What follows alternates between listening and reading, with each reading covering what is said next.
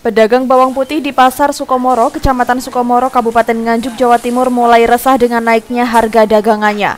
Sebab sejak harga bawang merangkak naik 10 hari terakhir, pembeli yang datang ke tokonya menurun. Bahkan saat harga bawang putih mencapai Rp40.000 per kilogram, pembeli sudah mengalami penurunan hingga 50 persen. Sebelum mencapai Rp40.000 per kilogram, harga bawang putih berada di kisaran Rp26.000 sampai Rp28.000. Seminggu yang lalu sudah menaik menjadi Rp36.000 per kilogram, namun hari ini harga bawang putih sudah mencapai Rp40.000 per kilogram. Jono Susilo, pedagang bawang putih menduga kenaikan harga ini disebabkan stok di petani mulai menipis, sehingga harga bawang putih berangsur naik. Bahkan kenaikan harga ini dimungkinkan masih akan terus terjadi beberapa hari ke depan. Bawang saat ini berapa? 40 ribu.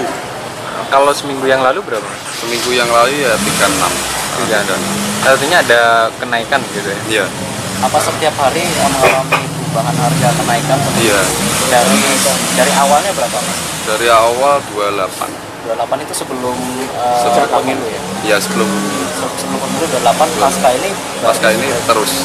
Oh terus naik. Iya. Uh, perubahan ini juga bisa mungkin kan naik lagi apa bagaimana? Kalau mungkin ya bisa. Itu penyebabnya kira-kira?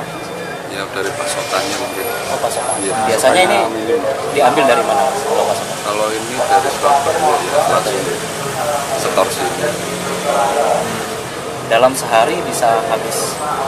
Ya mungkin ya tiga ton. Tiga ton ya? Untuk kacang tapi pem pembeli tetap setiap harinya lancar atau gimana mas? Ya berkurang. Berkurang ya. ya. Dampak nggak sama keuntungan? ya dampak masalahnya kan ya pembelinya kurang. Kurangnya kira-kira berapa persen mas? Dari ya 50 persen. Ada Meski harga bawang putih mencapai Rp40.000 per kilogram, stok penjualan masih masuk kategori aman. Hingga kini kebutuhan untuk mencukupi pembeli masih tersedia di toko para pedagang. Sayangnya, pedagang tidak tahu penyebab kenaikan harga bawang putih. Dari Nganjuk, Haryadi Suandito, GRTV.